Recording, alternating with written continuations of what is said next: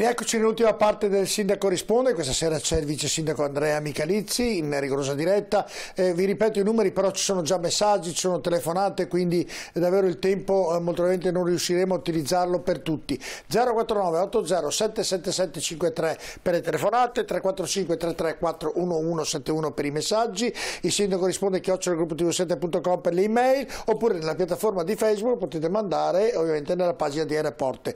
Abbiamo già c'è già la telefonata telefonata prima. Pronto, buonasera, con chi parliamo e da dove? Buonasera, eh, mi chiamo Ronzani Sergio. Se alziamo l'audio studio, grazie regia. Sergio, ho capito il nome, da dove chiama? Da Padova, via sì. Palestro. Via Palestro, prego signor Sergio. Volevo prendere l'occasione per che, ehm, eh, suggerire al signor Andrea Michalizzi di guardare un po' le strade perché abbiamo eh, strade piene di buche ma pericolosissime ehm, da, da, via Facciolati a via Cavallotto e Bassanello. Sopra il ponte Quattro Martiri c'è una buca lunga 3 metri, non è una buchetta piccola, 3 metri, eh, l'incrocio con via Bembo. Io ieri eh, cercavo di evitarla perché rompica la macchina eh, e quelli di dietro mi suonavano.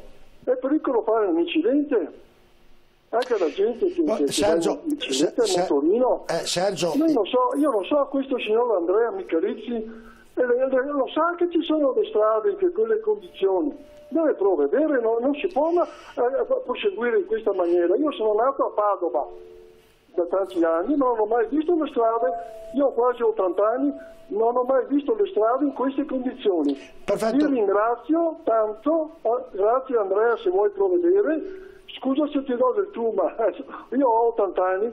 Va bene, ciao, signor Sergio. Mille, ciao. Signor Sergio, è stato molto chiaro, grazie a te Fratta, il vice sindaco le risponderà immediatamente. Grazie Sergio, ha fatto, ha fatto bene.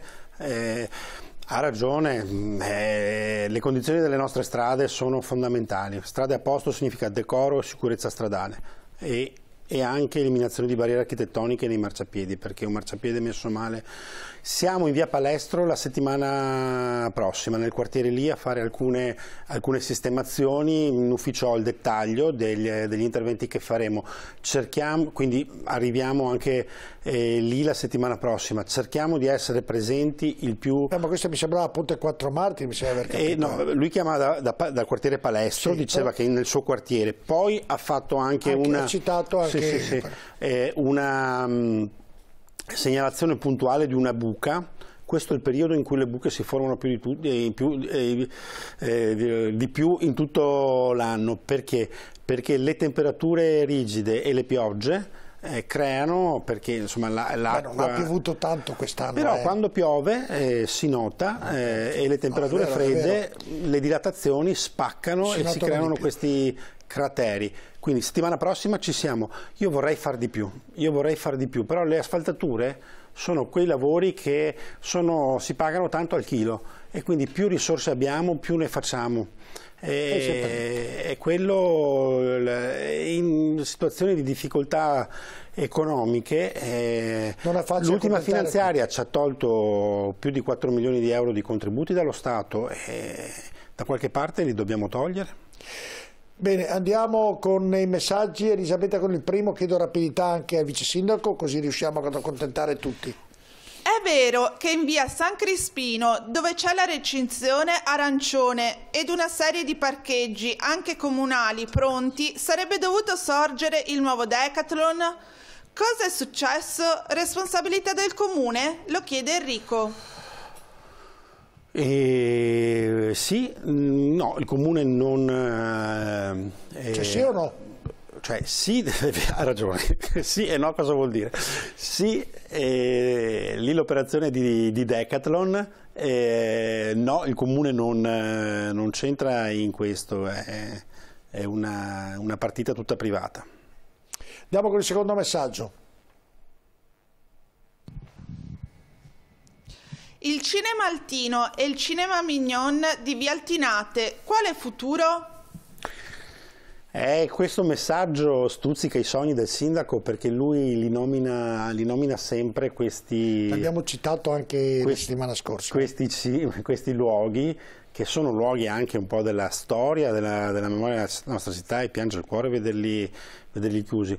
Non sono luoghi pubblici purtroppo e, e quindi è difficile poter immaginare, adesso si parla tanto di auditorium, no? eh, il sindaco si è anche lanciato in alcune, in alcune proposte. E, chissà che magari insomma, si riesca a trovare un finanziamento che possa anche eh, includere la sistemazione di uno spazio privato come Infatti come io la settimana scorsa eh, Michalizzi eh, chiesi al sindaco se può mettere dei paletti su quel cinema altino, il cinema mignon e lui ha risposto come sta rispondendo lei, ovviamente che essendo privato diventa molto complicata la cosa, perché appunto è un peccato mortale a vedere un, un, un manufatto del genere, mentre il Concordi mi sembra eh, stia già eh, prendendo una forma e stanno facendo dei lavori, ristoranti, negozi esatto. e quant'altro, sarebbe bello che anche quel cinema lì in pieno centro avesse qualche altra locazione che non un eh, palazzo chiuso. Insomma. Ma il Concordi è un esempio come fu il Supercinema che è diventato, è diventato Benetton, sono tutte operazioni private, però a me affascina sempre come eh, il cittadino eh, ritiene il sindaco o il comune insomma, eh, come quel soggetto che può intervenire anche in queste cose che lui avverte come vicine, il cittadino, eh, la, eh, lo stato di questi luoghi a cui è legato, affezionato e quindi eh, ritiene insomma credo, il comune... Cre- ma è bello questo no, perché vuol dire che è un'istituzione che, che funziona... poi da parte vostra sta di spiegarlo bene che non è responsabilità vostra, quindi nel momento in cui il cittadino chiede certo, perché, chiarezza, però... perché vuole bella Padova, è chiaro che se l'amministrazione non può perché è di proprietà privato e la legge non prevede di non far nulla, potete spiegarlo e quindi eh, purtroppo se la legge è questa non si può far nulla. Insomma. Però io una cosa che amo di questo mestiere è questo senso, come dire, di, eh, eh, di fiducia, di, di, di rivolgersi al, al, al, municipio, all'amministrazione comunale, qualunque essa sia. Non, non viene mai chiamato in causa il Presidente della Regione o il Presidente del Consiglio sulle questioni di... Come ma lo sa benissimo eh, No, ma questo è bello, è bello ah, certo. perché in effetti noi come dire, viviamo nei pensieri e nelle aspettative del, delle persone e questa è una cosa che esatto. ci responsabilizza È, è, è così. Eh, il terzo messaggio credo Elisabetta, andiamo pure.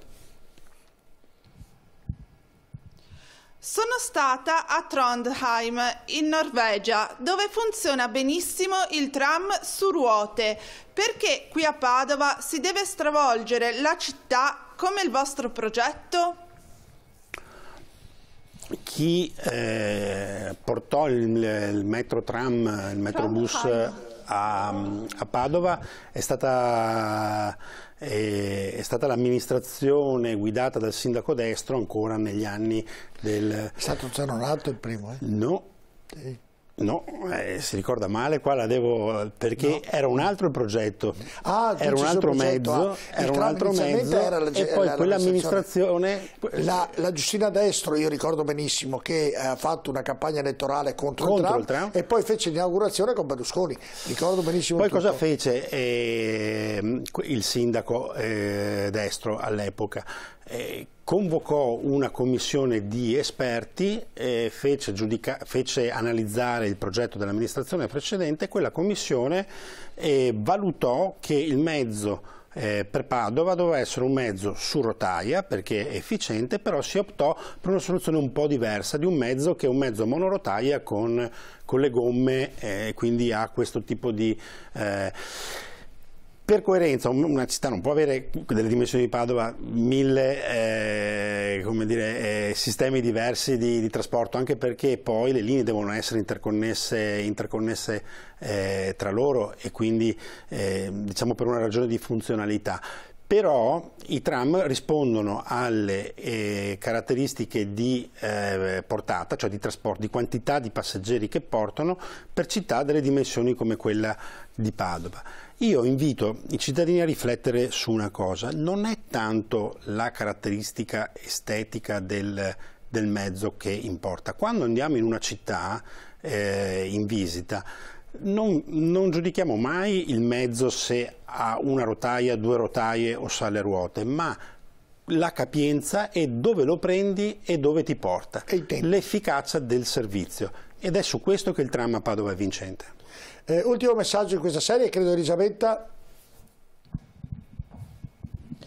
Perché è stato fatto il centro vaccinazioni e tamponi all'ospedale ai Colli dove non ci sono parcheggi ed è un cantiere aperto invece di lasciarlo alla fiera.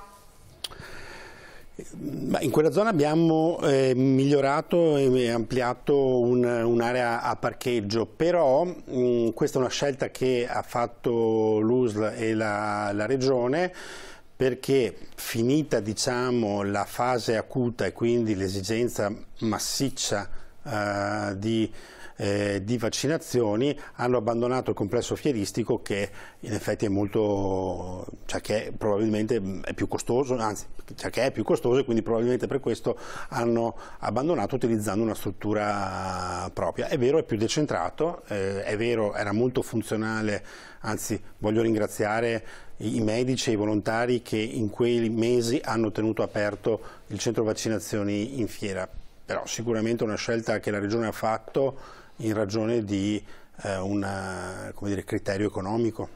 Senta, l'ultima la faccio che siamo in chiusura, non so Elisabetta se ancora ha telefonato messaggi, però davvero eh, siamo... le piste ciclabili ho visto vicino a quella in via Gattamelata che una è terminata, vede che l'altra sta terminando. Lei quindi... è un osservatore attento dei... Eh beh, io prendo il nodo al fazzoletto man mano che, che, vedo i lavori, c'è la telefonata, guardi. Sentiamo chi abbiamo perché siamo davvero in chiusura. Eh, pronto, buonasera, con chi parliamo e da dove? Salve, eh, sono Paola e abito naturalmente a Padova. Eh, da, ma che zona di Padova, signora Paola? Che zona di Padova? Allora, Chiesa Nuova. Prego, se chiedo gentilmente, perché stiamo in, siamo in chiusura, se è rapida, la ringrazio. Sì, io sono rapida, se mi permette di parlare sarà rapidissima. Allora, le strade di Padova sono tutte un disastro. Sono ancora prima che venisse rieletto troppo Giordani eh, avevo fatto notare questa cosa che è veramente impossibile, ci si stacca la schiena, il collo e anche la macchina. Non parliamo poi già una chiesa nuova, anche la rotonda del cimitero, è una vergogna e per non dire le altre strade. Una. Seconda cosa, basta con questi pianistei che non ci sono soldi perché ne passa e ne paghiamo, forse non sono così ben spesi perché le strade, non solo le strade, ma anche il resto, è, sono veramente, Padova è irriconoscibile. Terza cosa, vogliamo rovinarla ancora con un ulteriore tram? Ecco, sono stata rapidissima. Molte grazie. Perfetto, grazie signora Paola. Il vice sindaco sarà altrettanto rapido nel rispondere a tutti questi quesiti che la signora Paola ha posto. Ne parlavamo prima delle, delle, strade, mi piacerebbe poter avere più risorse, eh, è vero che i cittadini pagano le tasse, noi abbiamo voluto non aumentare la pressione fiscale a fronte di un governo che ha diminuito i trasferimenti ai, ai comuni, non abbiamo fatto una battaglia e su questa cosa perché le chiedo rapidità davvero perché devo chiudere e eh, quindi come dicevo al signore prima noi abbiamo un elenco strade che stiamo sistemando. In questi giorni siamo impegnati in tante sistemazioni eh, stradali. Avere più soldi eh, ne, ne potremo fare di più. Oggi con un bilancio che chiude con meno 12 milioni eh, mi sembra che questa signora sia anche un po' contro il Trump, mi sembra di aver intuito. Sì, ha detto che non ha votato l'amministrazione, quindi anche contro l'amministrazione, ma i cittadini di Padova eh, sono da ascoltare tutti, quelli favorevoli e quelli contrari, anzi io quelli favorevoli li vado meno e ascolto sempre le voci contrarie perché dobbiamo sempre dire, puntare a migliorare e a soddisfare eh, le, le, le, esigenze di tutti. Quando uno eh, ti racconta un problema eh, ti sta suonando un campanellino d'allarme che va sempre ascoltato. E poi va anche fatto. E va anche fatto, mi piacerebbe far tutto. Eh, ho capito, perché poi il, discorso di parlare, sa, Michalizzi parlano tutti, però poi i fatti bisogna fare. Però capisco, io penso, capisco le difficoltà però io penso che girando per la città si vedano tanti cantieri, ma tanti cantieri, si commentava Gattamelata, si commentava Via Friburgo, si commentavano tanti eh, sistemazioni mh, mm, anche di, di, di, di, strade, in via San Michele abbiamo certo. chiuso l'altra volta, stiamo lavorando in via dell'Industria, andiamo in via Palestro. anche la, la rotonda Insomma, del cimitero eh, che...